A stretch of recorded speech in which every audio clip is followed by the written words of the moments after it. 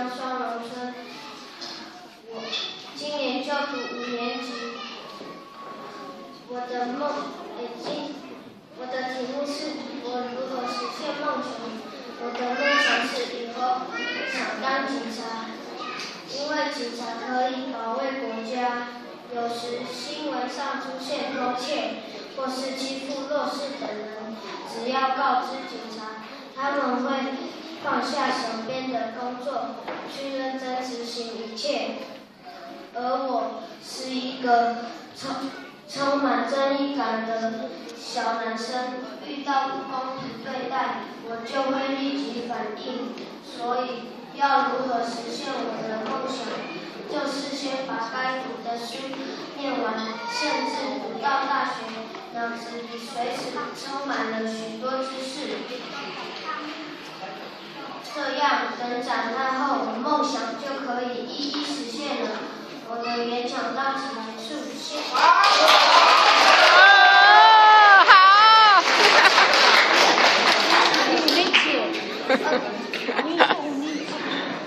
呃，以上呃所有七位参赛者哈啊都继续啊上台演讲完毕。好，那接着这个时间可能就要麻烦评审老师费尽脑汁来统计分数了哈，因为待会儿啊没有没有，抱歉，只有七位，七位啊，七位七位，对对对对对，就刚刚那那七位，所以这个时间那不要紧张嘛，慢慢来，我们时间还是会。那这个时间我们就中间安排一个我们。呃，刚刚上台演讲的辛子瑶哦，帮我们演奏一曲啊非常好听的诗歌，更多寻求你啊，一首诗歌的呃歌名。来，我们欢迎钢琴演奏者信子瑶同学。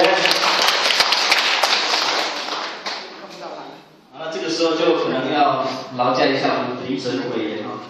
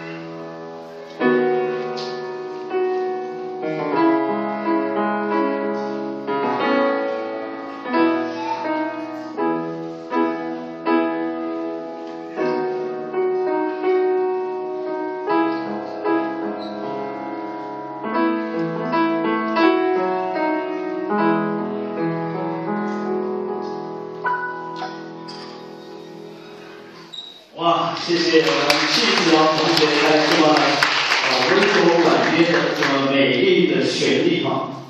啊，在这个地方啊，再次谢谢我们的子瑶同学啊，非常有才华。好，那另外一个，我们再次邀请一个团体哈啊，这个团体啊非常特别。好，哎，请上台准备你的东西。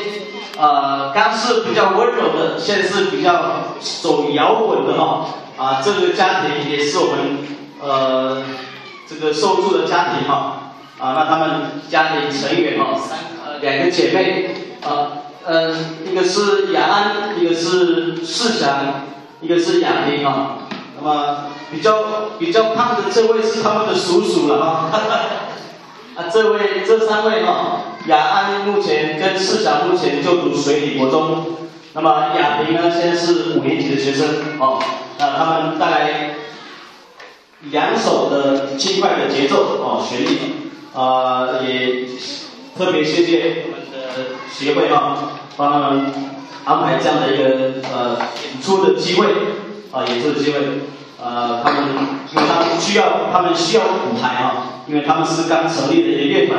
呃，乐团的名称叫玫瑰炸弹乐团，哇，这个名称很特别啊，呃，他的呃他们的经纪人是。